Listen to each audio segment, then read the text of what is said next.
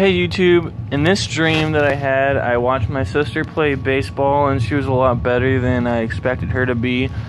And um, also there was this whole kerfuffle with me getting my check uh, from the bank.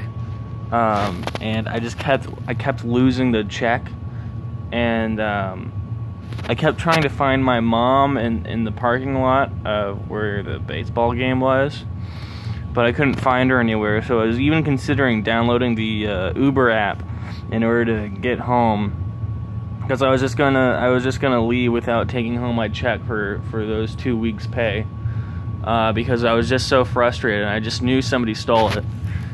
Um, let's see, did something else happen? I think that I I, I came across um,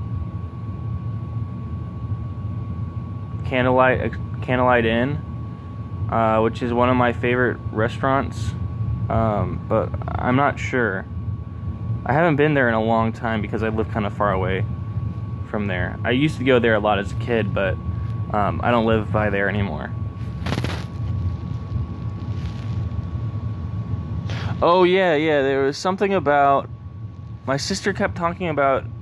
Um, I think it was like an Azumanga Daioh season that came out recently, like a season that we didn't watch ever.